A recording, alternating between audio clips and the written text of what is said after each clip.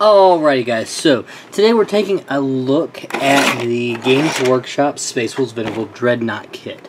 So, here it is with the little box. Sorry guys, got some glare on the camera. So, let's take it out and look exactly what is in this set. Okay?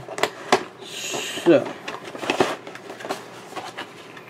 first up, we have the standard Space Wolf decal sheet.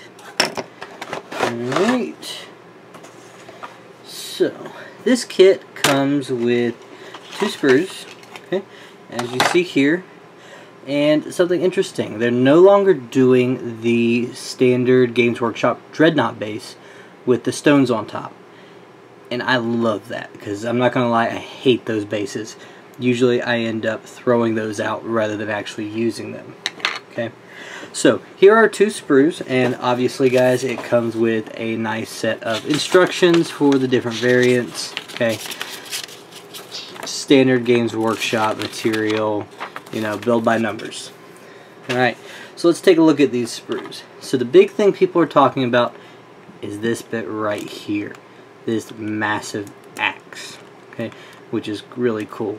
You also have the weaponry for the frost cannon, a bunch of extra bits like there's a Space Wolf pelt. You can see some of the larger feet, right? Some of the little emblems added on, all the different availability to the Dreadnought carapace itself.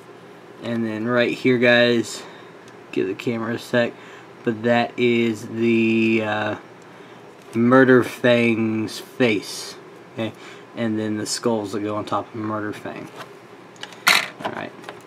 Our other side, guys, is more of a standard Dreadnought sprue. It's got uh, just the, the front plate, the waist pieces, the arms, some of the weaponry. Okay, see the multi-melta. This kit does come with most of the options.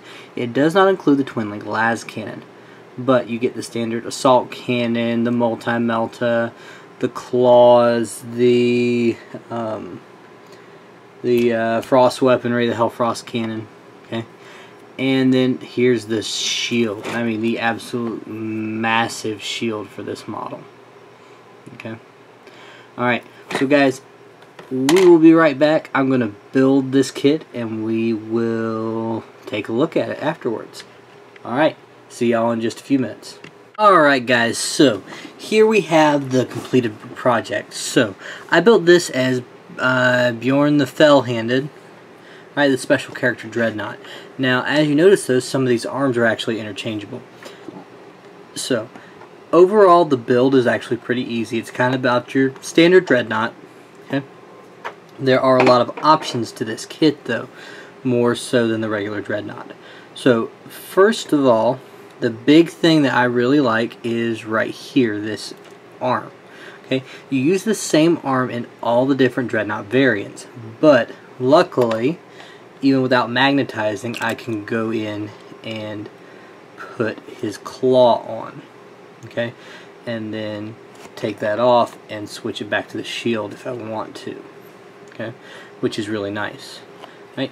The other arm, this arm is only used for this hammer and, or this axe, sorry, not hammer, this axe and um, the claws from Murderfang. Okay, so you can take it right off. You don't even need those parts. Okay, now normally with Bjorn, okay, he has a weapon option of either the twin link las cannons, multi melta, assault cannon, or the new um, frost weapon. I forget the exact name of it. But the cool thing with this kit, unlike the others, is that this is the housing for the gun. As you can see, it actually has an opening in it. Okay, that's where it'll slot into with the arm, that these weapon mounts will go into. Okay, If you look, it's got the little notch for the arm, and these will actually slide right in and then go right on the dreadnought. Okay, now it's a little loose, so I'm not going to lie. I think with some paint on there, it'll help stiffen that up because I'm planning on being able to use any of the variants. Um, I'm really thinking about taking the multi-melta version just just because I can put him in a drop pod. Okay, kind of fit along with the rest of my army. Right? But this kit's really cool. It has some really great options, if, especially if you want a custom dreadnought for your army. Okay. Now, um, if you're big into how it looks, okay, and you want that vulnerable, venerable look to do the shield and the axe with, then you won't be able to use this dreadnought for everything because the specific look of Bjorn and Murderfang. But overall, it's a great kit. You know, it's probably something that I'm going to get a couple more in the future. I've got a tournament list where I kind of want to try this guy in there and see how well of a distraction unit he is with the Storm Shield and the Thunderhammer dropping down in a drop pod uh, turn one and going, hey, deal with me right now or it's going to hurt. Okay.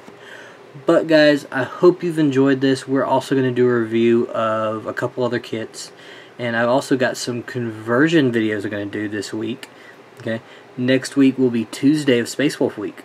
And for that, I'm going to show y'all how to convert a Wolf Priest from the standard Grey Hunters kit. Alright, so guys, happy wargaming. I'll see you then. For Phantom 567 Painting, this is Jordan signing off.